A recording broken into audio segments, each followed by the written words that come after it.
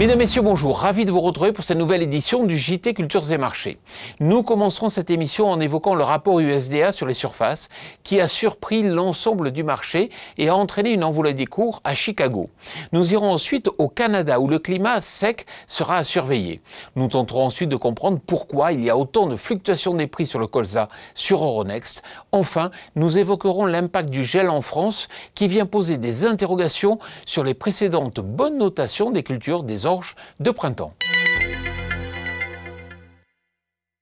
Le dernier rapport USDA a enflammé les marchés de Chicago et d'Euronext avec des surfaces américaines de maïs et de soja estimées bien en dessous des attentes pour la prochaine campagne à 91 et 87 millions d'acres. De telles surfaces ne laissent pas la place à un incident climatique au vu de la tension des bilans de fin de campagne. La période de semis sera donc plus que critique et il faut savoir que l'USDA publiera son second rapport le 30 juin prochain après ces semis.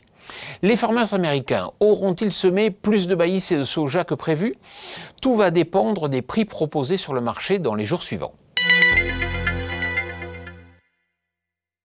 Les réserves hydriques des sols se réduisent au Canada à cause des conditions climatiques trop sèches.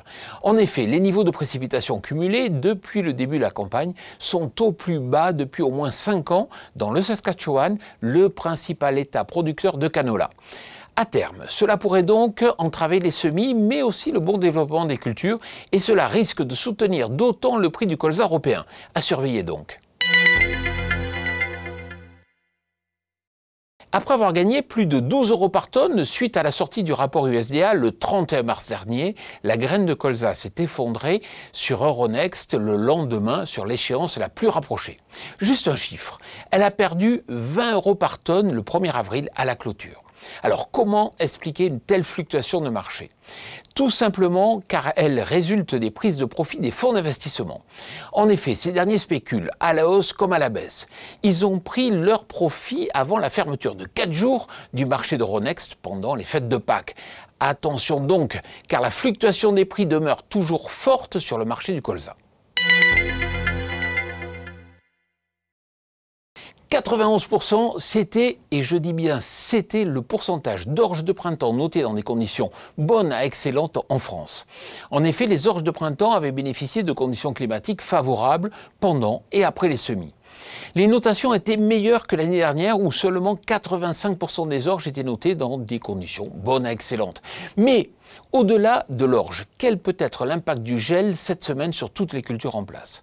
Impossible de répondre à court terme, si ce n'est de dire que des coupes de tiges montrent que les épis de blé ont été parfois gelés à l'intérieur de celles-ci. Certaines cultures peuvent se tenir alors que pourtant le potentiel de rendement est fortement affecté. Il n'y a d'autre que d'attendre pour ne pas émettre de jugement erroné par anticipation, mais prudence donc car l'impact sur les cours de colza et de céréales se ressent déjà.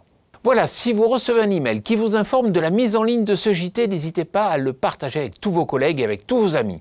J'en profite aussi d'ailleurs pour vous inviter à cliquer sur le lien vers le podcast des antennes dans les champs de Syngenta avec une édition spéciale Semis de maïs qui intègre l'interview d'un entrepreneur de travaux agricoles qui donne de bons conseils pour réussir ses semis. Je vous souhaite une excellente semaine.